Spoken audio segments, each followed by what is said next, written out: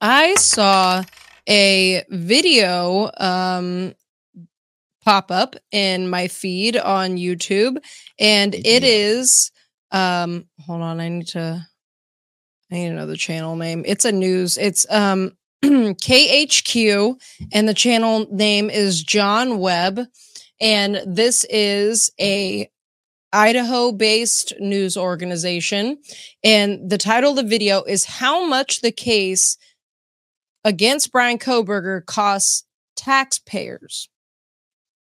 Now, Okay. in this, um, they are talking about just the way it's presented. It feels shady to me, but you guys can let me know what you think. Um, they say that so far, the case has cost Idaho taxpayers hundreds of thousands of dollars, and that Kohberger has been in the Latah County jail for more than 14 months on your dime. Well, Uh, So they called the treasurer and they requested basically the finances. Okay. Uh, they want to know how much this is costing Idaho taxpayers. hmm Well, here I took some screenshots, and we I also hope they knew what they were doing and they included the additional payouts from the state that the school got and everything because that was uh, that's already like two and a half mil, you know, for the Right. investigation. Yeah. right. The cops got a million, and the school got a million. Yeah. Um. Yeah, and the cost of the investigation. Well, the state actually got another 500k on top of it. I think it ended up being 2.5. oh, dang. Yeah. So they sent it to the treasurer. The treasurer talked to Bill Thompson, and Bill Thompson said, I do not believe we're able to finalize a decision on this request. I'm concerned that the release of this type of information could run afoul in IC 75 124 1B um, and the court's non dissemination order. Now, that code is uh, deprive a person of a right to a fair trial and or an impartial adjudication. Mm. then they talk about um, that it's costing $210 per day to house Bryan Kohberger, at least an inmate in the county jail. Okay. And that $210 per day to house an inmate comes to uh, $76,650 a year. And that since Kohberger has been booked, it has cost the state $88,000 to house him. Um, and they know that at least 962,257 have been spent on the court and housing him, I guess, this year or like since he's been arrested or whatever. Mm. And they said they didn't, they are waiting for Judge Judge's response. Well, we have a court filing. Okay. And this is the response um, from Judge Judge. It says a public records request was submitted to Latah County Clerk on February 26, 2024, and was subsequently forwarded to this court for review and response. The request was to examine and or copy records pertaining to the total cost to date of the case against Bryan Kohberger, including both defense and prosecution and any other costs this case is required pursuant to Idaho Code Section 74102. This response is specific to records of the Latah County Judicial Department and more specifically records for which the court is the custodian judge as defined in Idaho Court Administrative Rule 32 K3C. First, Idaho Code Section 74102 does generally give the public the right to examine any public court record of the state. However, that code that, you know, is supposed to give a fair trial exempts from disclosure records contained in court files of judicial proceedings, the disclosure of which is prohibited or under rules adopted by the Idaho Supreme Court, but only to the extent that confidentiality is provided under such rules. So, um, he, the, and obviously this is like these are sealed to preserve the right to a fair trial. Um, hmm So they also cite another rule that allows the judge presiding over a case to request that the administrative district judge appoint another judge to consider and conduct any hearing on the motion to decide on the motion.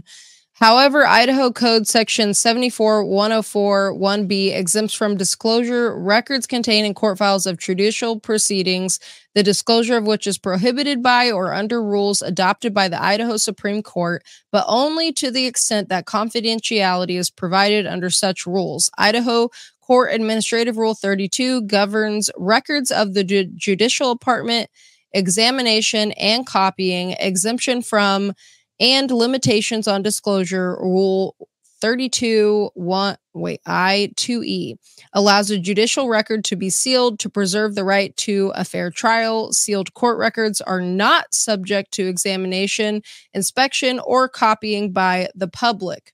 Idaho rule criminal rule 12.2 addresses a defendant's ability to file motions requesting additional defense services Rule 12.2D allows the judge presiding over a case to request that the administrative district judge appoint another judge to consider and conduct any hearing on the motion and to decide on the motion. On January 6, 2023, this court issued an order appointing resource judge for this case. Thus, a separate judge is tasked with a decision related to any defense motions requesting additional defense services. This court has no knowledge of the costs associated with the defense of this case, nor is this court the custodian judge for records pertaining to the total cost to date of the case against Bryan Kohberger. This is to ensure that any decisions made by the court are not in any way influenced by the costs of the case. On January 13, hmm. 2023, the resource judge tasked with evaluating and ruling on any defense requests for services issued an order sealing documents pursuant to the Idaho Court Administrative Rule 32I2E to preserve the right to a fair trial. Therefore, all documents and materials related to costs associated with the defense's request for services are sealed and exempt from disclosure at this time. Additionally, the Judicial Department does not maintain any records related to the cost of the state's case. In addition to this response explaining why the Latah County Judicial Department, or let what do people say it is? Latah Mm-hmm. Department cannot provide the total cost to date of the case against Bryan Kohberger attaches the be above mentioned order appointing resource judge and order sealing documents, ACAR Rule 32I. Additionally, the order approving appointed counsel's hourly rate, which is not a sealed document and is contained in this court's case file, is attached. And it is addressed to John Webb from KHQ TV. And it gives the hourly rate of Anne Taylor, which is $200 per hour, and J.W. Logsdon, uh, Chief Deputy of Litigation, um, eh, is entitled to 180 per hour. Yeah. And there's nothing about the prosecutor's pay. Interesting. So I wonder what the angle was where they were trying to go with that though, because uh, why why pull the funds just because they want wanted to try and come out and be like, oh my gosh, we just need to convict him already? Like, what was the angle? So in that in that news thing, that news clipping, they show from the hearing where and it was the last hearing, not not the most recent one, but the one before that, where Anne Taylor says, I'm nervous telling you I'll be ready by 2025. I'm nervous telling you that. Mhm. Um, and they're like, look, this is how much it's cost to date. As, far as what we know, we're waiting on, you know, that additional information from to see if the judge will approve it. Um, but this is how much we know of right now, just based on what we can find.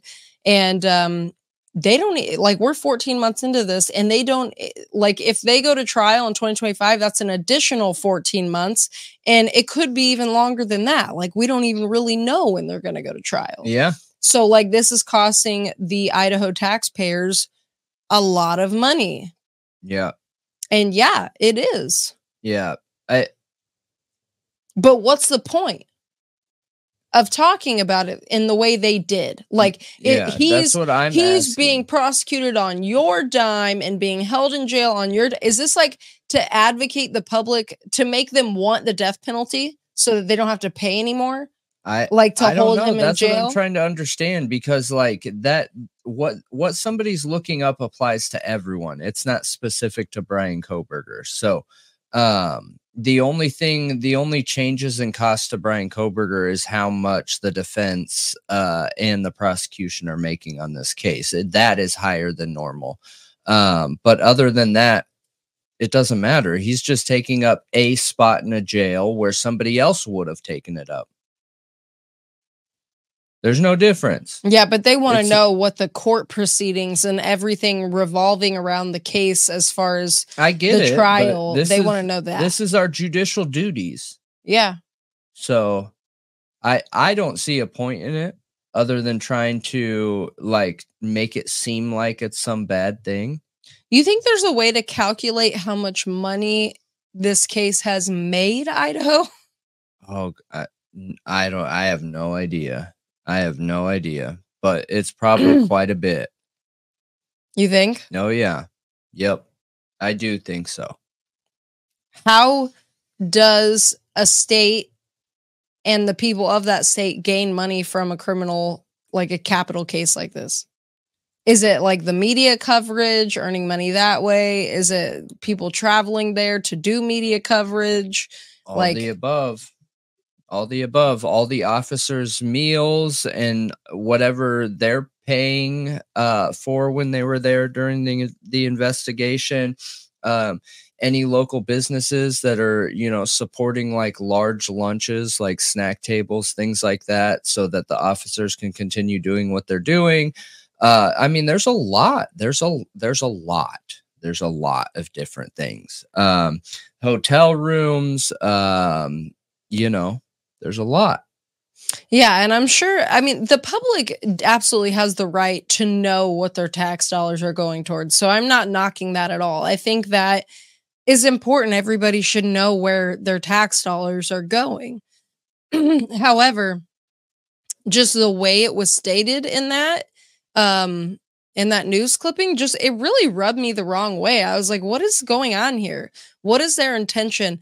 And i i want to play like that little clip you know where he says it like it, it's on your dime like you can just Well, he has been in the Latah County Jail now for more than a year. Bryan Kohberger, the suspect, prime suspect, accused of killing four University of Idaho students in November of 2022. He requested a public defense attorney to represent him in court, costing you, the taxpayers, hundreds of thousands of dollars.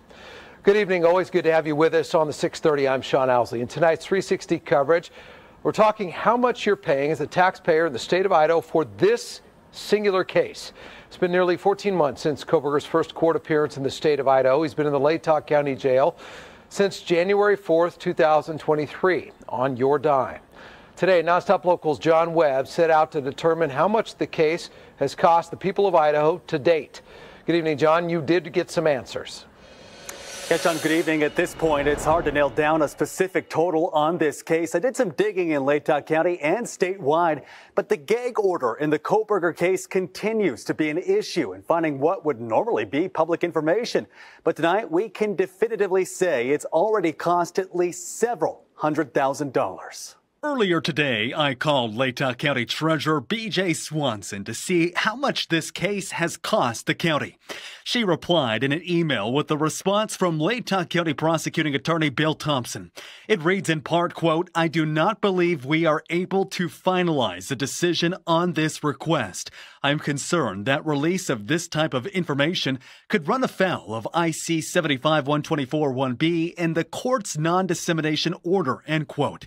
That specific state code that he cited says it would deprive a person of a right of a fair trial or an impartial adjudication. Thompson referred me to send a public records request, which I submitted. I was told it would be handed to Judge John Judge. I have yet to hear back. The Capital Defense Fund is a great tool to help in these types of situations. Kootenai County Commissioner Leslie Duncan serves on the Idaho Capital Defense Fund Board. The fund is comprised of counties that wish to take part. Essentially, the fund reimburses counties that are pursuing a capital crime. For a county to expend all of their available funds from now until October 1 one, it's probably going to be unlikely, maybe not impossible, but after that, the state will pick that up. At this point, we're not entirely sure of the grand total that Latah County has spent, but what we do know is how much has been expensed from just the capital fund. $874,477.06. That, according to Commissioner Duncan. Again, it could be that the total cost is higher, but we don't have access to that information right now. Beyond court costs, Kohberger is being housed in the Latah County Jail. That too, costing you money. According to the sheriff's office, it runs them $210 per day to house an inmate. That covers everything from housing to food to medical costs. $210 times 365 days out of the year would put taxpayers at 76,650. Since Kohberger was booked, that would cost taxpayers nearly $88,000. So we know at least $962,257.06 has been spent. And not only has the trial not yet started, we don't even have a clear idea on when it might start. You recall the January 26th hearing in Latah County, prosecution wanting to move forward with the trial this summer. But Kohberger's public attorney, Anne Taylor, has something different in mind. I'm nervous telling you I'll be ready by summer of 2025. I'm nervous telling you that. Summer of 2025 would be an additional 14 months from right now, adding potentially another $900,000 toward this case pre-trial. Regardless, Commissioner Duncan reinstated the importance of a thorough trial. I want the public to remember that any capital crimes uh, case that we really want to do our due diligence and make sure that uh, if we're going to sentence a citizen to death, that we overturn every rock and we do our due diligence to make sure that everything's done properly. And Sean, if Judge Judge does agree to release the exact total of how much this case has cost you, we'll pass it along to you here on the air and on nonstoplocal.com. In the newsroom tonight, I'm John Webb. John, thank you for that in-depth report there. Kohberger's next appearance in court Wednesday. John will be in court with any new developments. And for more of our 360 coverage any time of the day, it's nonstoplocal.com, Spokane tab, and the 630 section. I don't know. Like I don't know what his intention was behind saying it that way, but it doesn't seem positive. And I think a lot of in a lot of ways people um that's one justification for the death penalty is like it costs money to house this awful person. Mm. You know what I mean? Mm-hmm. And if you kill them, you don't have to pay that anymore. Mm. Yep. So I'm just curious if that has anything to do with it. But you guys let me know what you think the motivation behind it is. Is it just like wanting the state, like the taxpayers, to know what their money's going towards? Is it, you know, calling out the judicial system? Is it, you know, pro death penalty type thing? I'd like to know what you guys think about it.